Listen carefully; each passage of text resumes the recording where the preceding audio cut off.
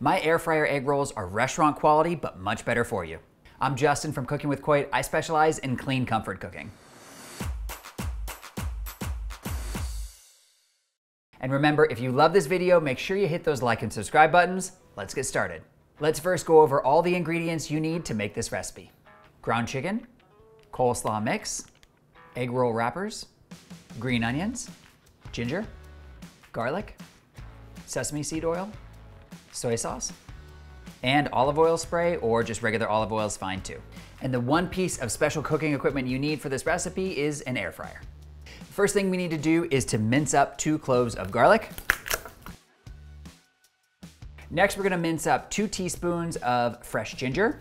You could also grate the ginger, which is really nice. By grating it, you're really gonna make it super emulsified and you can really get it into such small pieces, smaller than you could with a knife, but I think for this recipe, cutting it and mincing it is totally fine. One other thing I want to tell you, whenever I cut my ginger, I realized it's the perfect time to make ginger tea. So uh, all you have to do for that is just chop up some ginger super rough like this, drop it into a pot of boiling water, and then let it boil for, don't know, anywhere between like five and 10 minutes. And then you just strain out the chunks of the ginger and you get this really amazing ginger tea that is always delicious, makes your stomach feel good. So try that one too. All right, guys, the next thing we're gonna do is to chop up our green onion. I've got two green onions here and just chop it into like regular sized pieces. All right, guys, so now we're going to saute uh, our ingredients here. But first, I wanna tell you about this new really cool gadget that I got. This is the Breville Control Freak, I believe is what it's called. It's basically an induction burner. This burner works really well with my Hexclad pans because my Hexclad pans uh, work on an induction top, so I'm very lucky that that worked out. If I burn anything in this video, Forgive me, this is literally the first time I'm using it, so let's see how it goes. Next thing we're gonna do is add a little bit of vegetable oil into our pan. Just one tablespoon's fine. And we're gonna first saute our ginger and garlic together. Now one really cool tip that I learned not too long ago, if you start with cool olive oil, so meaning that you're putting the olive oil in a pan that isn't too hot already, you are much less likely to burn your garlic. And now we're just gonna let this saute for just about a minute, minute and a half until it's fragrant. Kind of find it funny that this device is called the Control Freak because I feel like that sums me up very nicely. All right, so the next thing we're gonna do, guys, is add two cups of coleslaw mix. I'm just gonna do it by hand. It's like literally trying to measure this is absurd. So just try to measure two cups roughly. It doesn't have to be perfect. You don't have to use everything that you cook. And if you see like a big piece like this, Probably good to break it up. I think that should be good. That should be about two cups. And now we're just gonna let this saute in the garlic and ginger just for, I don't know, a couple minutes, three to four minutes until the uh, coleslaw mix has softened. One quick note about this coleslaw mix that I bought. I don't usually buy like vegetables already cut in plastic, but I do feel like this is one of those times when it might be okay because the effort that it takes to shred up cabbage like this and to also julienne these carrots this thin, it's actually a lot of work if you're doing it totally from scratch. So in this one instance, it is okay, in my opinion, to buy a pre-mixed, already pre-cut uh, cabbage and carrots in a bag. If you're really short on time, you might have to. So let's just let this saute until it's all kind of softened and uh, cooked through just a little bit. All right, guys, so when the coleslaw has started to wilt, next thing you're gonna do is to add your protein of choice. I suggest you use ground chicken or ground pork, whichever one like you like. Uh, ooh, let's not put that in there. Whichever one you like from a dietary perspective, each one is gonna work totally well. I will say, if you're going to be using ground poultry, so if you're gonna be using ground chicken or ground turkey, what I truly suggest, very highly suggest, is that you do not use white meat only. And the reason for that is, is that white meat has a very low fat content, therefore it's going to come out a little dry, and that's not as nice for this recipe. You can if you want, just saying. I highly suggest you use dark poultry, so dark ground chicken or dark ground turkey. Pork is also just like probably the best thing ever. It's got the most flavor, and it's probably the most traditional in terms of an egg roll, so use pork if you love pork.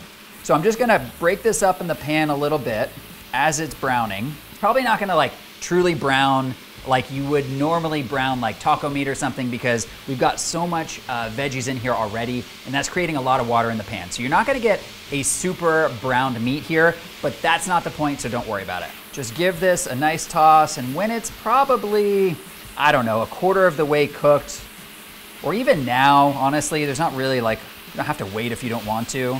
You can go ahead and add one tablespoon of the soy sauce. You guys might have noticed that I am using tamari here because this is a gluten-free house, so we just really have gluten-free soy sauce. So one tablespoon of tamari or soy sauce. And now I'm gonna add one tablespoon of sesame oil. This happens to be toasted sesame oil, which a friend told me a while back that toasted sesame oil typically is reserved for like drizzling on as a garnish at the very end of a dish, and that regular untoasted sesame oil is better for cooking. I don't think that's true. I mean, I don't wanna call her a liar, the person that said that. If you guys have a strong opinion about that, I would love to know in the comments below. I think it's okay to use. So just as you'd be cooking uh, taco meat, let's just say, what you're gonna find is that the protein is going to stick together a little bit, get a little clumpy. Just take your spatula and just break it apart as best you can. Ideally, you want it into very small little kind of like round little balls. That's what we're looking for, because that's what's really gonna help us wrap these egg rolls really tightly. All right guys, so after you have broken up the meat almost entirely into the small little chunks I was talking about before, just grab your green onions and we're going to just toss them in. We're gonna let these green onions uh, saute for, I don't know, another you know minute to three minutes and just until they're kind of slightly cooked through, just a little wilted. All right guys, so this chicken mixture is totally ready. I really wish you guys could smell it. It's like the soy sauce and the toasted sesame oil and the ginger and garlic all coming together. It smells so amazing. You guys are gonna love making this. So now what we're gonna do is we're gonna take this off the heat and set it aside to cool. All right guys, so this is the most fun part of this cooking process. We're going to be rolling our egg rolls. So you first start by grabbing these egg roll wrappers. And so hopefully you guys can find these at your store. Get a, get a shot of this, Aman. First thing you're gonna do is to lay out one of these egg roll wrappers. I like to think about making it sort of a diamond as I'm looking at it. That's gonna be the right orientation of it. Then you take a spoonful of your mixture, and this is gonna be totally to taste, so this is gonna be up to you guys how much you actually put in here. I'll show you how much I suggest. All right, that should be a good place to start. We'll see how this goes, and then we can add more or less on the next ones that we do. So the first thing you wanna do is to position the mixture kind of like lower middle. So you're first gonna take the bottom corner and then wrap it over like this. And it does the, the bottom corner doesn't have to like fold under, that's okay. You can do it. If you want to, you can, but it doesn't have to. Then just slowly roll it. So next you're gonna bring in either the right or left side. Doesn't matter which one. And then now I'm gonna bring in the opposite side. So I did the right first, now I'm doing the left. And then just continue the roll all the way.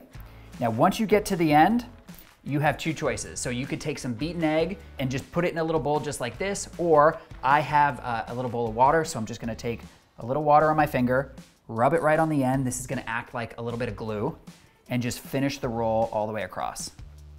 And you should be left with a nice little egg roll that looks just like this. Now I'm gonna do it uh, anywhere between five and 10 more times depending on the amount of mixture you have left.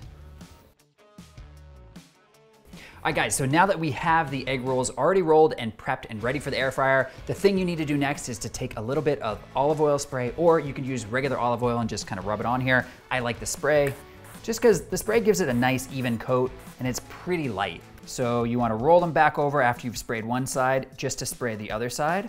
And let's just spray this another light coat. And now these are ready for the air fryer. All right, so let's throw these into the air fryer basket. One really important thing to know is, is that you want to make sure that the seam side where we basically close these egg rolls, that that's facing down. So put it down like this. Just kind of give each one a little bit of space.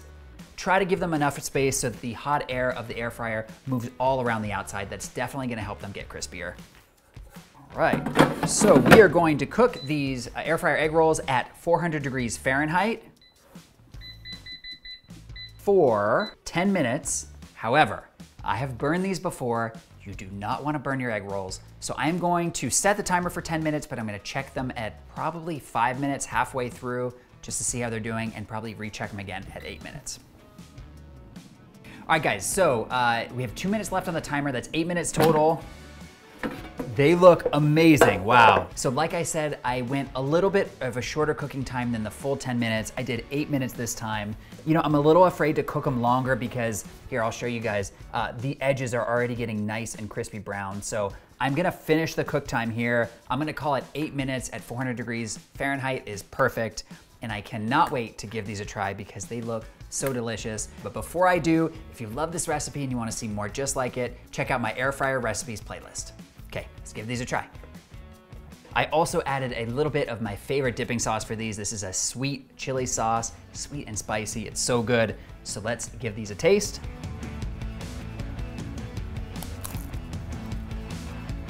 Woo, it's hot. Let them cool before you eat them. These air fryer egg rolls taste so incredible. You have the perfect amount of crunch and they are that super traditional egg roll flavor that you love from your favorite restaurant. I hope you guys give these a try. I'll see you in the next video.